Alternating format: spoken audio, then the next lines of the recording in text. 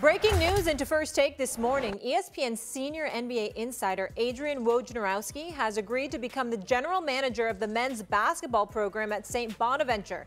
He told ESPN Woj is a St. Bonaventure graduate and has a strong relationship with the program. Woj released a statement that read in part, after all these years of reporting on everyone's team, I'm heading back to my own.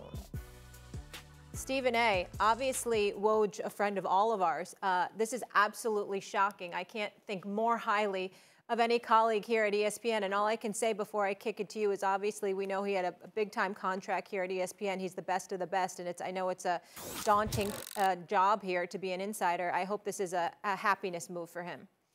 So do I. Um, I've gotten to know Woj over the last couple of years working on NBA Countdown. Um, he's the best in the business. He's the best in the business. Make no mistake about it. Nobody's more well connected. Nobody's more respected. Um, and to be around him and to just have to be able to touch on a wealth of knowledge that he's had in all of his years covering the league, the context that he has, the inside information that he's had.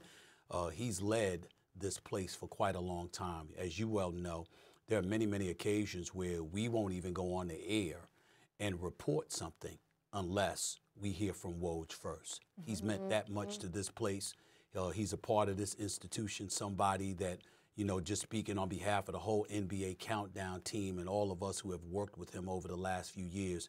Uh, he's the best in the business. He's absolutely exceptional, a high end professional. Uh, he has my profound respect. And um, I just hope that this is a very, very happy move, and I anticipate that it is because we certainly didn't ask him to leave. I can assure you of that.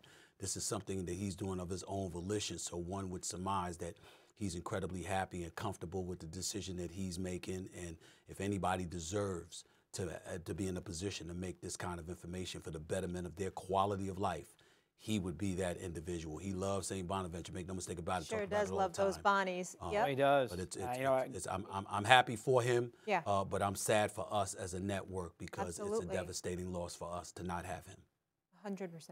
Yeah, big loss. And obviously, he loves the college basketball. Yeah. He loves the Hurleys, wrote the great book yeah. on Bobby Sr. Yeah. He knows the Connecticut program basketball well. wise, like you wouldn't believe. and, yeah. and uh, you know, St. Bonnie, that St. Bonnie's crew Mike Vaccaro, the New York mm-hmm. Post, is another yep. one. There is a Bob Lanier. Yep. There is a lot of loyalty to yep. St. Bonnie's. Mm-hmm. Little old Olean, New York, middle of nowhere. They love St. Bonaventure. They got. They should have had the one year they had the great year, and Ford and Lanier got hurt.